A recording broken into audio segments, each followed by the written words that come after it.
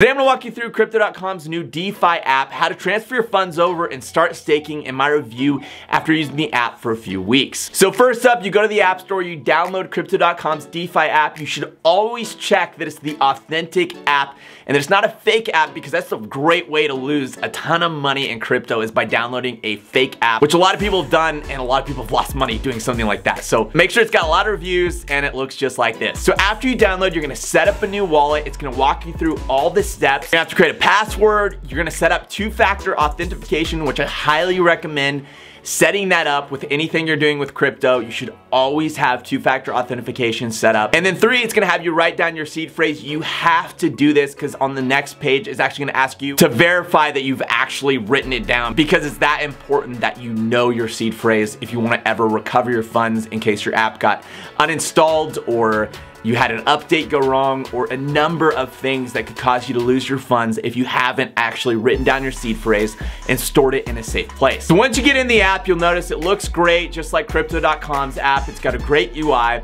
But the first thing you're gonna wanna do if you have Crypto.com app is connect your two wallets together. I highly recommend connecting your Crypto.com app to your Crypto DeFi app for the easiest way to transfer your funds in between the apps. You should see on your screen right under Explore, connect to crypto.com. It should be a little icon. If you don't see that, just go under settings and you'll see connect to crypto.com app as an option right under settings and then you click that button. Once you click it, it's gonna make you confirm a few details and then you're gonna click the big blue connect button. It's gonna ask you to enter the email that's connected and associated with your crypto.com email. After you do that, it's gonna send an email to that email address that's gonna allow you to connect your two accounts together. Once you get that email, you're gonna click the connect button. It's gonna take you to the crypto.com app and ask you to authorize that you really are wanting to connect your crypto.com app with this DeFi app. After you authorize it and you go back to your DeFi app and you go to settings, you should see under settings, it should say that you're connected to your Crypto.com app. Now to transfer funds over from your Crypto.com app to the DeFi app, the dead simplest way, you're gonna go to your Crypto.com app,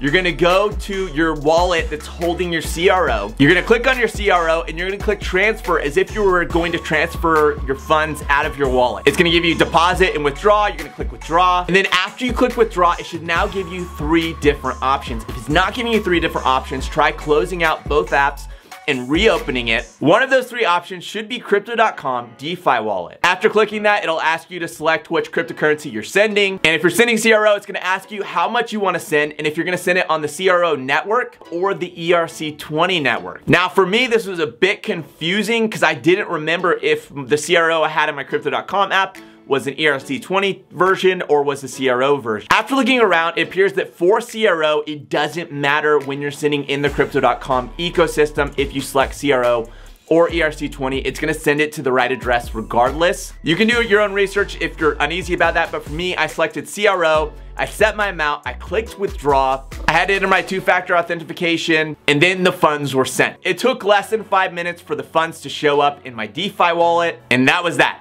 To get them staked was also a really simple and easy process. All I had to do is click the earn button at the bottom of the screen. Then I clicked the big blue button that says start earning. It gave me a list of supported tokens and how much percentage wise I can expect to earn annually. I selected CRO. I confirmed the amount that I wanted to stake. It automatically loaded up a validator and I just went with the one that automatically loaded up. I didn't do any research into that validator. I was just assuming that Crypto.com was pairing me with the best validator that was available. It showed me the commission was 0% that the validator was taking. It gave me the network fee and the amount that I was staking. I clicked stake. It gave me a warning about the validator commission, which I wasn't worried about since it was set at 0%. And then it gave me another warning that there's a 28 day unbonding period, which basically means when you go to unstake your rewards, that's fine. You can do that at any time, but it's gonna take 28 days before that's unbonded and you're able to transfer them out of your wallet sell them, or whatever you're wanting to do with them. I had to enter my two-factor authentication again, and then it said request submitted. I checked back about a day later and everything was staked and looking good. Overall, I've had a really great experience with the app. I never ran into any bugs. I've never run into anything that I didn't like. I think it's genius that Crypto.com keeps expanding its ecosystem